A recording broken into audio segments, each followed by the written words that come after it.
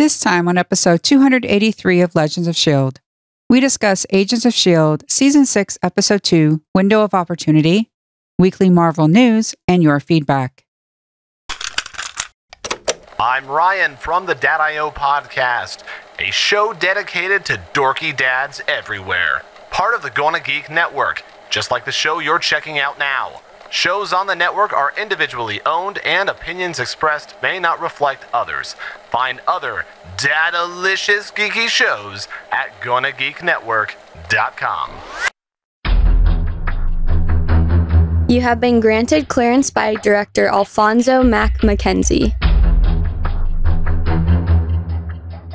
Stand by for a shield debriefing.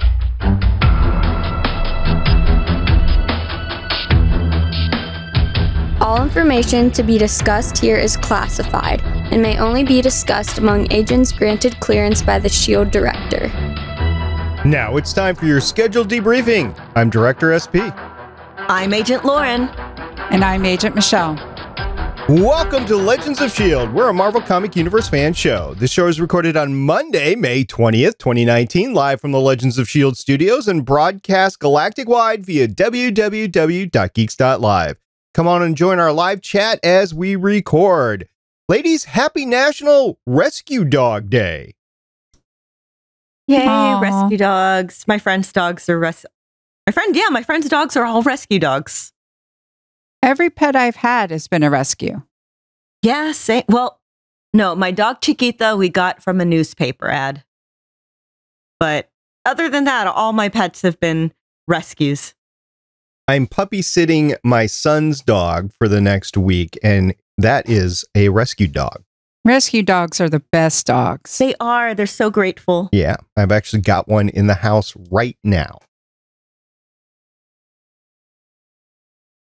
All right, so now that we've shared our love of dogs, we're going to move on with the show. Legends of S.H.I.E.L.D. is a fan based podcast on the ABC television show Marvel's Agents of S.H.I.E.L.D. Yay, it's back! The Marvel, the multiple Marvel small screen series, and the Marvel cinematic and comic book universes in general. Because now you're thinking with portals. If you'd like to talk to us about playing with portals, you can visit our website, legendsofshield.com. You can call us at our voicemail, 844 the bus one. That's 844 843 2871. You can find us on Facebook, Legends of S.H.I.E.L.D. Podcast. You can get a hold of us on Twitter at Legends of S.H.I.E.L.D. You can find us on YouTube, www.youtube.com slash geek. You can tell your Amazon device to enable Legends of S.H.I.E.L.D. skill. You can join our Discord server chat at gonnageek.com slash discord. And remember, Legends of S.H.I.E.L.D. is a proud member of the gonnageek.com network. We have a little change up for you today. Apparently, we had some technical difficulties yesterday when Lauren and Haley were supposed to record. Lauren is able to join us today. So is Michelle and me. I wasn't going to be here, but I am here now. So you have Agent Michelle, Agent Lauren, and myself, and Agent Haley had to work right now. So she is out, but she will be back next week. Lauren, was there really a technical problem that would have been better solved had Fitz been on Earth? Um, yeah, if the guy can fix all of the spaceship problems that he did, he can fix a computer that has trouble booting up.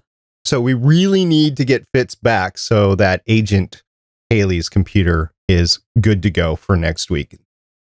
Meantime, we're going to get on with the main event. We're going to be talking about the second episode of the sixth season of Agents of S.H.I.E.L.D. Window of Opportunity.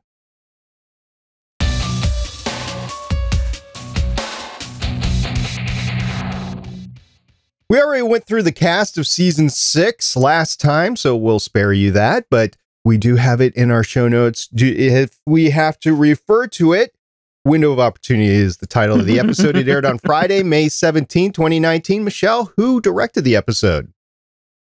This episode was directed by Kevin Tancharoen, has 26 directing credits starting in 2008, including 18 Mortal Kombat Legacy, one Supergirl, one Iron Fist, two Legends of Tomorrow, one Inhumans, one Arrow, 3 of The Flash, and 13 of Agents of S.H.I.E.L.D. Lauren, who were the writers for this episode? This episode was written by a team. First off, we have James C. Oliver. If that name sounds familiar to you, it's because uh, he's been on the show a lot. He has three writing credits since 20. Oh, I thought I had it up here. Three writing credits since 2015, starting with one under the dome, two episodes of Agents of S.H.I.E.L.D. Slingshot, and 22 of Agents of S.H.I.E.L.D. as story editor and five as just a writer. Also written by Sharla Oliver, who has four writing credits starting in 2015, with one under the dome, five of Agents of S.H.I.E.L.D. Double Agent, two of Agents of S.H.I.E.L.D. Slingshot, and 22 of Agents of S.H.I.E.L.D. as story editor and six as writer. The webisodes were so neat that they were both a part of, and I'm kind of hoping to get some webisodes like this fall as we're waiting for the next season, season seven of Agents of S.H.I.E.L.D. to start. Don't know if we'll get it or not, but it'd be kind of neat if we did. Yeah, I don't think we are. Be nice, but I'm not counting on it. Yeah. So, window of opportunity, we start every episode by usually asking Haley, and she's not here right now, what the title means. Ooh, ooh, I got it. I got it. And oh, okay, so Lauren, what does the title mean? It's a reference to one of the best Stargate SG1 episodes ever. It is. I was going to mention that. So I'm a big Stargate SG1 fan, obviously Stargate oh, Pioneer. Obviously. You don't say. You don't say Yeah. Stargate Pioneer. You like Stargate. When I saw the title pop up, I was like, "Oh, I know this one," and so did Lauren. So we were both in on it. Also, I might add, as a homeowner, I would really like the ability to create windows as quickly as Sarge did with a electric drill that has been converted into a paint gun. Hmm. that would be that would be really cool. It would. It would indeed. So, yes, window of opportunity to Michelle. What does it mean in relation to Agents of S.H.I.E.L.D.? I think it's the team trying to find that opportunity to get Sarge and his Fury Road crew. And then Fitz is looking for an opportunity to not only survive, but to also save the crew he inadvertently put in danger. And right at the end, it seems as though Jemma is trying to create that opportunity of, of finding Fitz. We'll find out next week, I guess, if if it's one of those they arrive and oh no, he's gone. It's so convenient, or if they're actually going to get a reunion. Yeah, we actually saw the ships cross in the night. That was pretty neat how they gave us that CGI visualization for it. I also want to point out the window of opportunity was the window that they created in between the I forget what it's called, but whatever the semi is called, we'll just call it uh Oh, um, they had a name for it, and now I'm blanking out. I know. I want to go with the Knight Rider name. no, they were calling it. Scott and I were joking about it, how they went from the bus to like the tanker, something like that. Yeah, okay. I, I was gonna go with Goliath because that's the evil truck in Knight Rider. So uh, either way, I'll call it Goliath. You guys can call it whatever you want. But yes, the tanker that seems to work as well. Anyway, so you had the window of opportunity going back and forth between. Also, if we want to be just completely literal about it, yeah, those portals that they're making, those are windows. The airlock, that is a window of sorts. Yeah, window to Question space. mark. Yeah. The window that Fitz is looking at those space slugs through. The little sea slugs. We'll talk about those later. Ew. I think they're cute. I think they're not. I don't think that's a one off. I think we're going to get space slugs in the future because they're still on board the ship. So, Well, yeah, but we'll talk about it. We'll get there. yeah. We'll get okay. Okay. So, yes, lots of opportunities with Windows, aptly named, and a good homage to Stargate. I don't know if they did that or not on purpose, but I'm going to say they did. So, showrunners, thank you very much for the little tip of the hat to Stargate. There was a lot of action in this episode, and I particularly like that May, May is just, oh, she's beat up, but she keeps on giving as good as she's getting. Uh, she gets tripped up literally and figuratively, and she ends up losing and she mentions that she loses, but she did great inside the tanker, didn't she?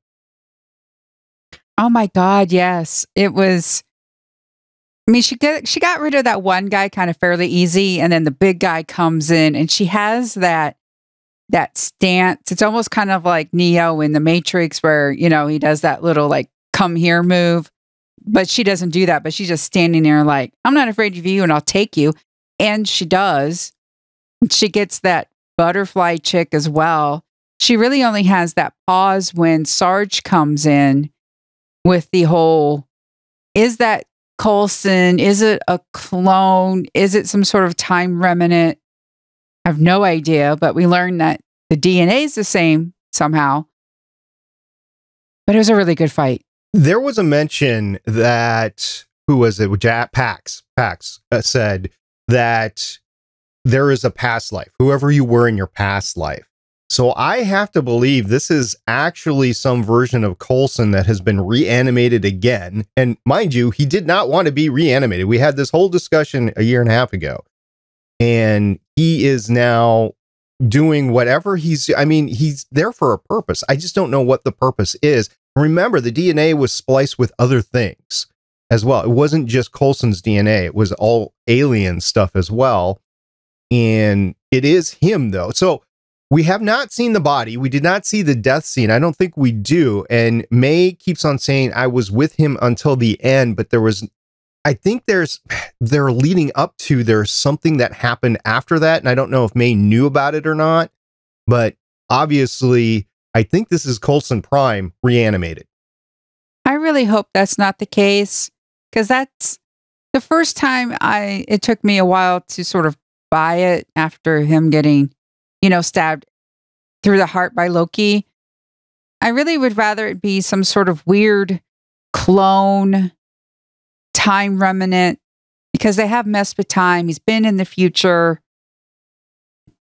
I don't really want it to be Coulson Prime from the dead again. Well, Brooke Williams keeps on bringing back, you can come back a butterfly, and they keep on telling her not everybody comes back as a butterfly. So I think this is some sort of what do you call it? It's not reanimation. Uh, when you are resurrected into another body or another animal or whatever. What is that called? Reincarnation. Re- reincarnation. Yeah. So I think it's something like that. And I, I think that uh, Brooke, by, by the way, Brooke Williams in the credits, in the IMDb credits, last episode, she was known as Butterfly, but everybody calls her Snow or Snowflake now. So I'm not really sure what her character's name is. It's Snow. It's Snowflake. Okay. We have uh Jaco, Snowflake, Sarge, and Pax.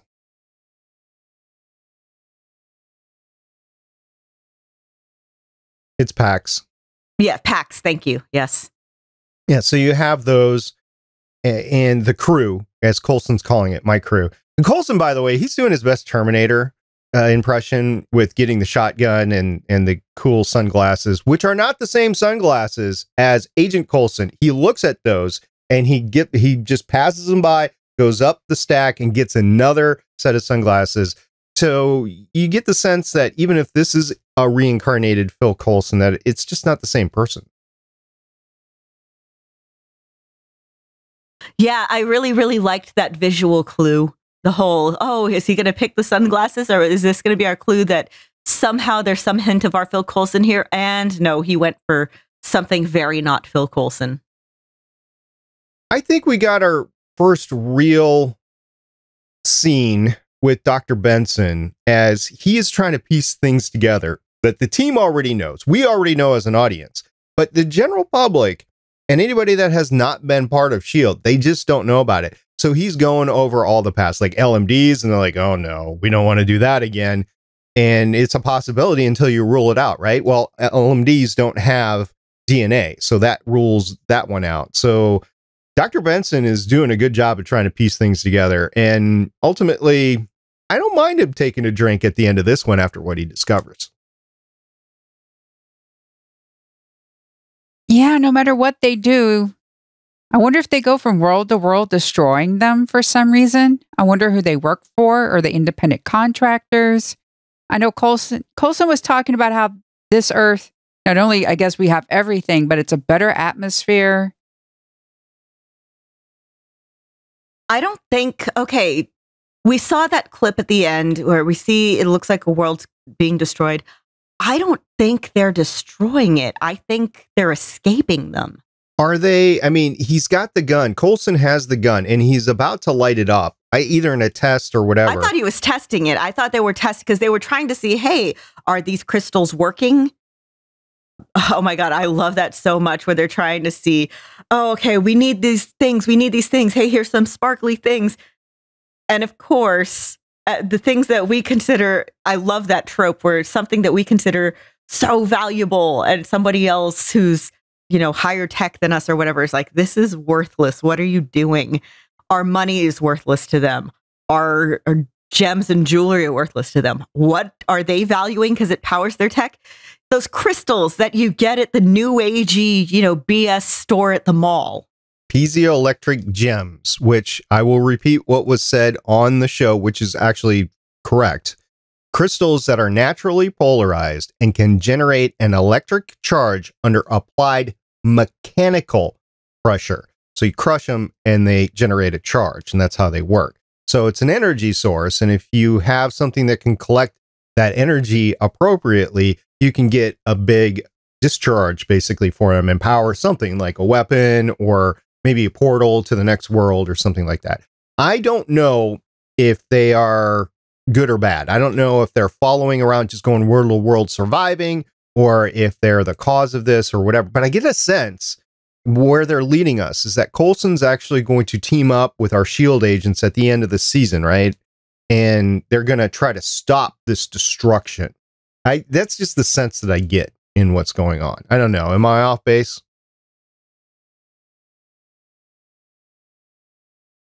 I don't know.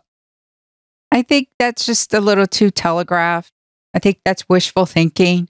I actually do want this Sarge maybe to be a bad guy. I mean, it's been painful for me to just see him. I want something interesting. I was thinking about that where Phil Coulson is played by Clark Gregg is actually doing a decent job at a bad guy. You know, his cool, calm demeanor when he is an Agents of S.H.I.E.L.D. or if he's director or whatever can work as a bad guy. He's not really changing too much of his acting ability. And it's just, it's the same Coulson. And I never really thought of him in terms of a bad guy, really, until this season. And we're getting it. And so I can see him acting the same way, both characters. So he's actually doing a good job. Clark Gregg's doing a good job. He's really good at being threatening while being really calm.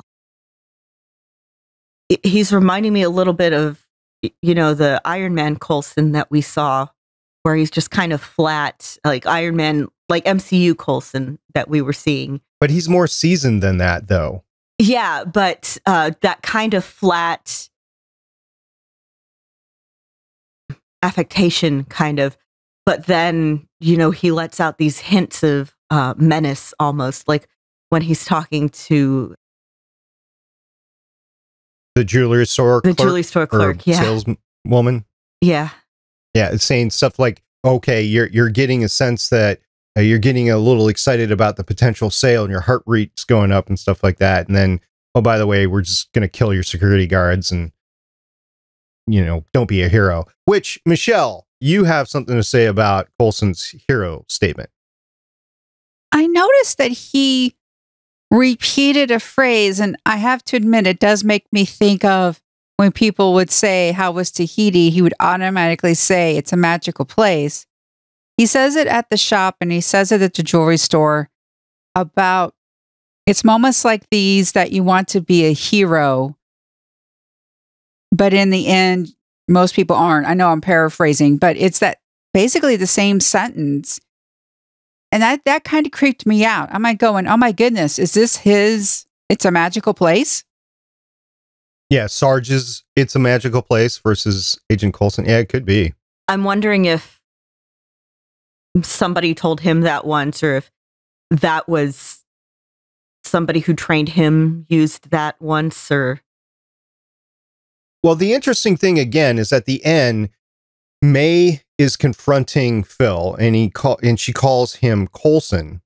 Again, it's not the first time; it's the second time, and he apparently froze. I don't remember him freezing, and I watched it twice, so go figure. But he was talking to Jaco in Goliath afterwards. See, I used Goliath again. There's a callback. Goliath. That's truck. You guys want to call it tanker? That's fine. I'm calling it Goliath. Anyway, he's talking to Jaco in Goliath, and Jaco's really concerned about his boss at this point. Well, why'd you freeze? And what is that term, Coulson? Because they don't know it's a name. And he's like, I don't know, but it rings a bell. So it's interesting. Eh, it's if it is Phil Coulson reincarnated, he is actually have some sort of a recollection of Coulson, the name. Doesn't know what it is yet, but it's there. So I think they're linked somehow.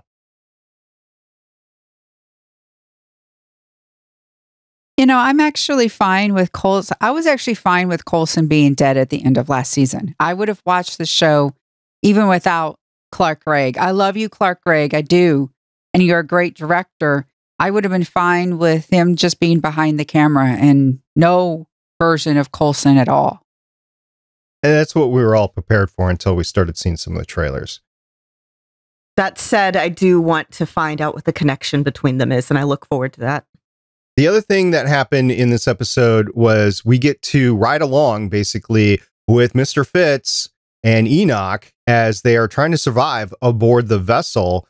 And Fitz has to get a little creative. So we are all worried last episode that he was going to be this drugged out, jacked up guy. And no, we find out that it's the real Fitz. Michelle, how relieved were you that we didn't have a transformed Fitz? Oh, you mean about how I was right and that he was doing it to blend in with wherever he was? Yeah, I was good with that. I was just hoping that he hadn't had a brain, a further brain injury, because they'd already gone down that path. Like if his stasis pod had forced him to be, you know, in a low atmosphere situation or something like that as he was being reanimated. I was just hoping that we weren't going to get another brain damage, fit, and we did. So that was good. And not only that, but he thinks creatively about putting in some safeguards for his situation that ultimately turned out right. Lauren, what did you think about his uh, little trick that he pulled on the captain? What do you call it? The Commodore, the commander, the commander, the controller, the controller. Ah, uh, it's typical smart Fitz. Just again, always good at thinking on his feet. By the way, something interesting about the controller. I thought he kind of looked naggingly familiar and looked it up, him up. So while he's not Spartacus, Spartacus Blood and Sand cast, in 2004, there was a USA made for TV movie version of Spartacus, and he played the character of Gannicus in that. Oh. So he was a Spartacus cast member, but not our Spartacus cast. Again, with the Spartacus connection. Can't get away. All right. Well, the other thing that I want to point out about this ship, which I don't even remember what the name of this thing is, is the snails, which ultimately gives Fitz away but they're still there. And I think we're going to at least see them until then, or refer, have them referred as cargo next episode. I don't think you can just get rid of the snails. Although, I mean, they do from time to time just get rid of stuff. But this could be something that comes back. Yeah, Enoch said that it looked like because at first Fitz was like, "Oh, hey, I increased the efficiency so the snails should breed better," And then at the end, Enoch's like, I think this isn't going to be so good on the snails. And Fitz is like, I can live with that. What a trick, though, to rig either another airlock or the cargo door to open instead of the airlock. and Fitz knows that you're thinking Fitz is going to sacrifice himself, and he just gets into the airlock. And it's a smart move, right? It's a smart move because it could prove he could end up saving everybody and he could work with the controller or what happens is he was safe and the controller got blown out. So, although judging by where they were, I wouldn't put it past the controller wiping the front windshield of Zephyr One. Oh, he's going to be the fly. You know, kind of like in the the Thor Ragnarok, where Thor bumped up against the Milano. Sure. I thought it was interesting that Fitz admitted he he knows what hateful men can do. That nice sort of callback to when he was in the framework. Oh hmm. yeah because he he personally knows. Well done. Yeah. What's going on with Deke, Michelle? Well, he's still missing in action, roaming around, probably looking for Zima and lemons. We're going to come back and Deke's going to have all these souvenirs from like Disney World and Six Flags. And he's going to be obsessed with like the weirdest things possible. Yeah, they're not going to be the nice little figurines. It's going to be like the weird plastic things that you think has no meaning, but he just finds absolutely cool. It's going to be that weird knick-knacky stuff. So let's rate director Mac for the episode. Let's Just do scale one to 10. Michelle, how do you think he did? Well, he's still sort of in that I'm the director, I'm collecting information, I'm telling people what to do. It's only the second episode. We really don't know what he's been like over the past few months. I mean, he knows how to delegate. He, I think he's pretty sure that Yo Yo and Keller are together and he's not making a big deal about it. At least, not that we could see. A solid seven. Okay, solid seven. I mean, he diffused the confrontation between May and Benson. So, yeah. Lauren, what do you think? Scale one to 10, Director Mac. Yeah, about seven or eight. Yeah, like we said, he's really good at delegating. Good leadership is what, nine tenths being good at delegating. He's still got a level head somehow, improbably. Yeah, we'll see. We'll see how he is after all of this, but Right. so far he seems to be doing pretty good. I'll I'll take a half a notch down. I'll go six and a half because he has pleaded that he what he's stated that he's going to be transparent with Dr. Benson, but there's just a lot of information which is not being communicated right away. And he's off to the next thing. And maybe it's just that he's forgetting that Dr. Benson doesn't know everything, or maybe it's because he's trying to be compartmental. Anyway, I, I'll give him six and a half, and we'll hopefully he'll bring Dr. Benson up to speed a little bit more in the future. Well, that's a lot to bring up the speed. I mean, it's like, oh yeah, we did this and and then it was that and then it was this. That's a lot. It is, but in the course of the conversation, they just moved on right away and they need to bring him up with relevant stuff in an efficient manner.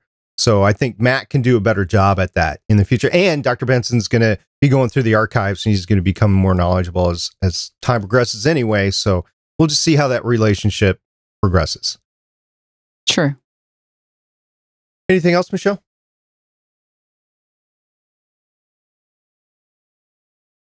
I really like the shopping part at the beginning. Again, it's so very Terminator esque.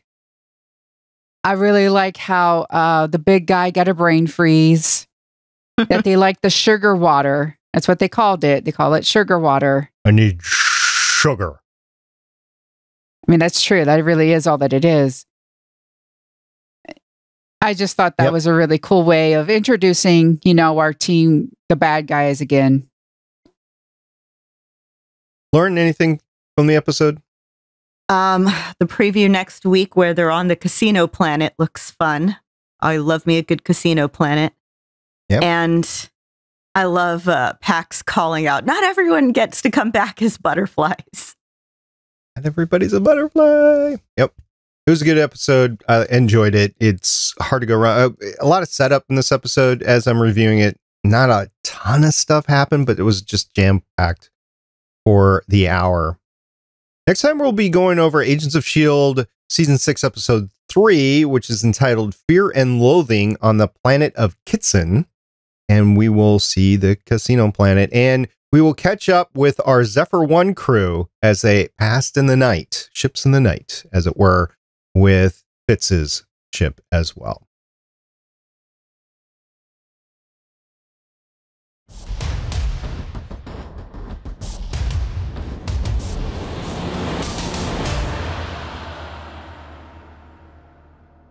We have a few news items this week. We're going to start with the Loki TV series. Yep. So we've discussed, if you've listened to our Avengers Endgame episode, that uh, Loki's antics in that movie, yes, Loki shows up. For those who haven't seen it yet, spoiler. So Loki, when he teleports away with the time stone, would create his own timeline, says Joe Russo. It gets very complicated, but it would be but it would be impossible for Cap to rectify the timeline unless he found Loki. The minute Loki does something as dramatic as take the space stone, he's created a branch reality. So they've apparently there's an idea that hey, maybe Captain America's chasing Loki around. They've mentioned that you know, it's been kicked around that the Loki TV show is him jumping around through history, screwing up history. So I guess maybe at the end, Captain America shows up, puts the handcuffs on him, takes him back to that scene. I when I first saw this title, I was thinking in terms of Loki becomes Captain America. You know, uh, that's what I thought, but no, I, I can get this. I, I could see Captain America coming in and slapping the cuffs on and stuff. It, it's the only way to end it, right? I mean, there's many ways that could end it, but that's the one that's canon compliant. I mean, the ones where they they make out that one is fanfic compliant, but not necessarily canon compliant. Well, speaking of another favorite fanfic duo, um, Sebastian Stan discusses Falcon and the Winter Soldier. There was a Comic Con in Italy, I guess this weekend, last weekend, and Sebastian Stan talked a lot there. In this particular Mary Sue article, it's mostly about uh, what we could see from the show. None of this is actually canon yet, since, as far as I know, the show hasn't actually been, none of the scripts are finalized. But he said that he wants to explore Bucky's life outside of superhero stuff, like, hey, maybe Bucky goes on a date, gets a phone, whatever. And the series is also going to be our first time seeing Sam Cap. So that's going to be fun. I get the sense that the days of the Marvel snipers are getting fewer and far between, and that it's okay for some of these actors to go out and actually talk about stuff if it's speculation, especially. But I don't think they're going to clamp down too much on them unless it's another big event. Then you know you start to do the things like you don't give Tom Holland the entire script, and you, I don't know, uh, film fake scenes with Mark Ruffalo. You know those sorts of things. But I, I think right now the floor is open for everybody to talk. Well, also, this is um, advertisement for Disney Plus. That's where all these shows are supposed to be. So having your actors, them getting permission, yeah, go ahead and talk about all this stuff. Get people interested in these shows so they will subscribe.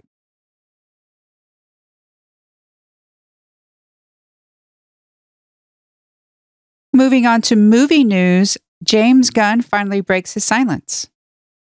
There's an article on deadline.com where James Gunn talks about his firing and then rehiring by Disney and his reaction to both the firing and people supporting him and all of this stuff. And he's mentioned a lot of stuff about it. First of all, that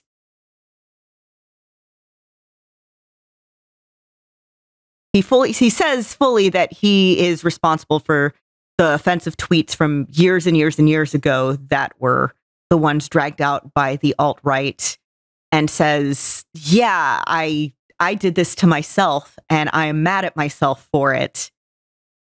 He says, I don't blame anyone. I feel and have felt bad for a while about some of the ways I spoke publicly, some of the jokes I made, some of the targets of my humor just the unintentional consequences about not being more compassionate in what I'm putting out there. Disney totally had the right to fire me. This isn't a free speech speech issue. I said something they didn't like and they completely had the right to fire me. And then he said that there was this outpouring of love for him and he said that he had a lot of anger at himself. and that he landed Suicide Squad. When he landed Suicide Squad, he said, Technically, my fears were allayed immediately. Jason Blum from Blumhouse was doing a Comic Con panel when the announcement happened and said, I'd hire James Gunn right now. And he mentions that, you know, he tried to handle it like he imagines you would handle a divorce. Like, well, I don't want to look on all this time that I spent as a completely bad thing. We had a lot of good times, but it's just like, okay, what can I do to mitigate this? And then with someone said, given another lease with Guardians, what characters or themes are you most excited to see through in the third film? And he responded, When you ask me what was saddest for me when I thought it was gone, and to anybody and anybody at Marvel can tell you, it's this very strange and attached relationship to Rocket. Rocket is me. He really is, even if that sounds narcissistic. Groot is like my dog. and of course, you dance like your dog. So it's it's a really good interview. I really recommend reading it. I like that he's taking responsibility. I like that he is actually verbalizing that he is blaming himself, although I'm not sure how healthy that is long term. At some point, you got to let go with it. But I can understand. I mean, we've all done things that we regret in life and we go, man, I w- really wish I wouldn't have done that later on. And this was one of those things for him. So I'm glad he's getting it out because it's just something that's human. And it, he's not blaming Disney either. He's they're totally in their right. And he was taking that road with the free speech issue. So I'm I'm glad he's still uh, on the the road here my spouse and I have had long talks about, uh, especially in the wake of the James Gunn initial firing. When people say something like, oh, I'm sorry you were offended, or you can tell it's just something written up by publicity, like the PR team, that's that's not an apology. So I'm sorry you were offended is not an apology. I'm sorry I got caught is not an apology.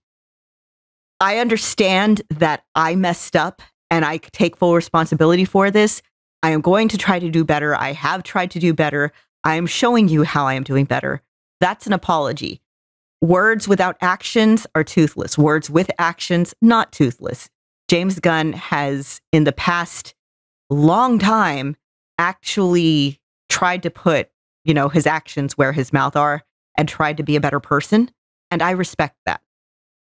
Exactly, me too. And he is just really talented. So I'm glad that Disney decided to bring him back and continue on with the Guardians of the Galaxy franchise, at least for one more. And honestly, eh, this is growing on me. You guys know that I really hate the Suicide Squad after the last movie, at least in the current DC franchise. And, you know, if, if there's anybody that could turn it around, James Gunn is one of those people that could probably turn it around and be little, at least entertaining for me. So I, am really looking forward to his future works because he's proven to me that he's talented. They might cast Michael Rooker as King Shark. I'm willing to give Suicide Squad 2 a shot. Rooker. Ah, Rooker. Rooker and Sean Gunn on another panel. I hope Sean Gunn's somewhere in the Suicide Squad too. Oh, he will be. So, more about Sebastian Stan and talking at that Italian Comic Con. The Mary Sue has a couple of articles about this, but they never say what the con's actually called. It's just an Italian comic convention. It's at presumably that same panel where he talked about Falcon and Winter Soldier. But he let it slip that the upcoming solo Black Widow movie would take place after the events of Captain America Civil War. It's still a rumor. Take this with a huge grain of salt. So remember speculation so far. Remember all those um, Hydra super soldiers and tanks that we saw frozen in Civil War. The the secret Siberian Hydra base. Yes. Yes. Yeah. Would it have something to do with that? Would it have something to do with I don't know. Who knows? We won't know until it we get more actual news not leaked out by you know somebody at a con we'll find out i could see that my thought was that it was going to be a period piece like way back and my my gut reaction was I just don't want to see that de aging throughout the film on Scarlett Johansson. And that was a worry of mine, to be honest. But if they do this, th- this is completely believable. I, I could live with that. Not that they couldn't pull the other one off, but honestly, all the de aging that they've done so far, it's getting better, but it's just not there yet. I mean, I think we've seen that. We saw it in the last movie, right? When they went to New Jersey.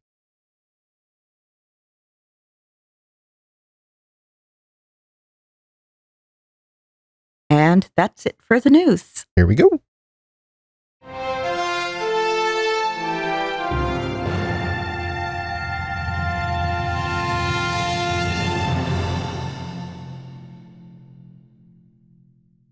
Well, we love interacting with you, and we got some feedback on Twitter. We heard from at Adana Girl. Adana Girl has some issues with uh, a plot point in Avengers Endgame. Three reasons. There's no way Steve could have been Peggy's husband's all Peggy's husband all along and the father of her kids in her photos in Winter Soldier. Are we supposed to believe Steve would have sat on America's ass knowing the following things were happening? There's this whole tweet thread about all the things that were going on throughout all the movies. I responded to that I saw that, yeah. and Yeah. I said, uh, there is nothing that said that Steve in that timeline did not interject himself. And They could have saved uh, or solved a lot of the mysteries Yeah. along the way with Hydra and, and Thanos. Specifically, knowing Hydra was infiltrating SSR slash Shield and doing nothing, knowing Bucky was alive and where he was doing and doing nothing, knowing Bucky was ordered to kill Howard and Maria Stark and doing nothing. So the thing is, uh, there is a very, very notorious plot thing. You probably know the word. I'm my my head's all over the place right now. That happened during World War II, where using I think it was Enigma, they were able to decode a a German attack that was happening. Yeah, so the Enigma. Okay, so there was two code breaking things that happened during World War II. One was in the Japanese theater of or the Pacific theater of operation, where we got the Japanese code and we were able to determine that they were going to attack Midway. And then in the Europe area of responsibility, there was a code that was broken. I mean, we were stealing code machines galore, but there was a specific submarine or U boat that we That was it. yeah, got a code machine off and they were able to decipher a lot of their messages. So that was a big factor of intelligence behind World War II. specifically they were able to uncover this one this one attack that was happening on i think british soil or this they had to they were they had to let it happen because otherwise it would have leaked that they had broken this code and it's it's a really famous intelligence case in World War II and one that Steve absolutely would have been familiar with, both as somebody who fought in the European theater in World War II and from somebody whose totally not girlfriend was an intelligence officer. Well, it depends on when he. If he went back after that fact, which I think he did, then he wouldn't have been able to interfere with World War II. No, I'm saying he would have been familiar with that specific example of Oh, I see. Just letting it go. knowing something has to happen for the greater good. And and that's what I was going to point out. Like I don't see him sitting on his hands and just letting Hydra take over or just letting Thanos happen. But if you interfere with those, you cause all sorts of new stuff that might be worse than what actually happened. Although that's hard to imagine with Hydra and Thanos. This is a huge theme in a lot of time travel fiction and hell fanfic that I read is I want to fix a thing, but by trying to fix it, am I breaking it worse? And the person who is usually trying to fix it, usually, especially in the fanfic that I read, it's somebody going back in time trying to prevent a thing from happening, trying to fix a thing that happened. After a point, it's like, okay, well, you broke it. Now you don't know what happens. How can you fix something when you don't know what happens? And a lot of the time, it ends up significantly worse. There's a um, a really famous quote from a J.R.R. Tolkien short story where this one character is talking to another and tells them, could have been different, couldn't have been better. It could have been different, but it couldn't have been better. And I think that's something you need to take into account in any sort of time travel thing. And you heard it here first. Make sure you stock up on your time travel knowledge before it happens to you and get everything that Lauren is teaching you because you're going to need it someday.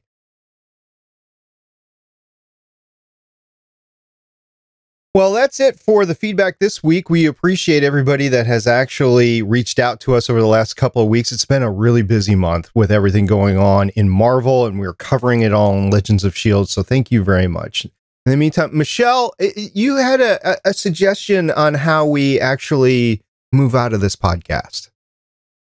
Yeah, I think we should airlock this one out.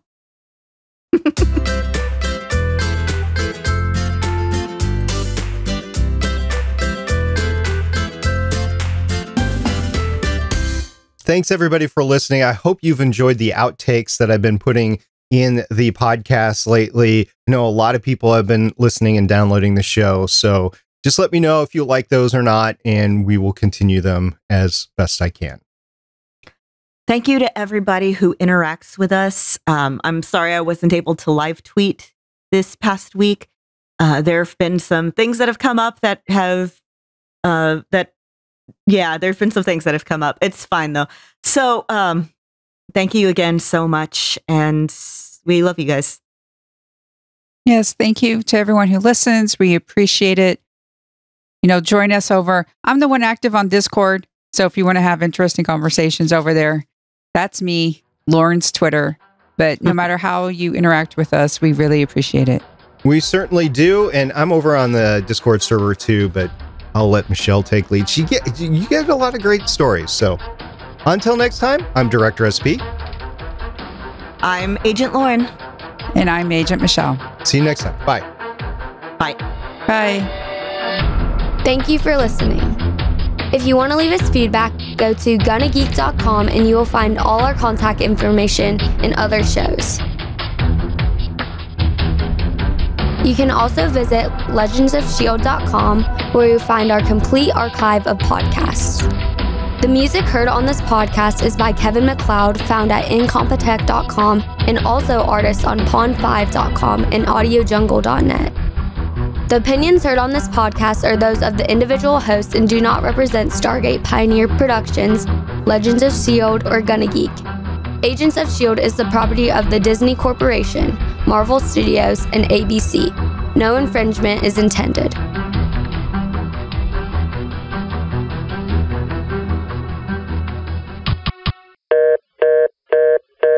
Legends of S.H.I.E.L.D. is copyright 2013 through 2019.